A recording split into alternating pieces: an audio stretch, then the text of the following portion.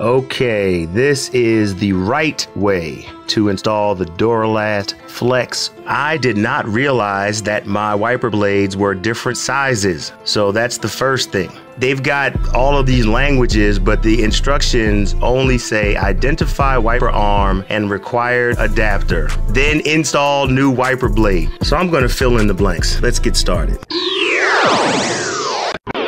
There's a little release with a flathead screwdriver. You release the clip and remove the old wiper blades from the wiper. And you'll hear a little click. That's the first thing that they leave out. They don't tell you that. But once you release the clamp, you just slide the old blade off and there you have it. Now, the adapter that comes with the blade when you open up the packaging is the number one adapter.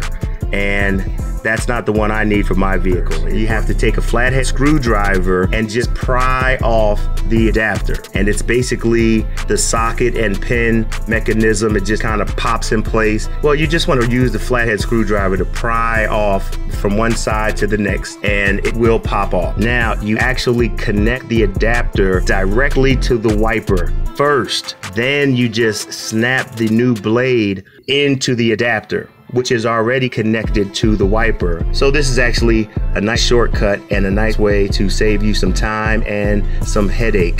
Connect the adapter to the wiper first, then connect your new blade to the adapter. Brought to you by The Right Way. If you're gonna do it, let's do it the right way.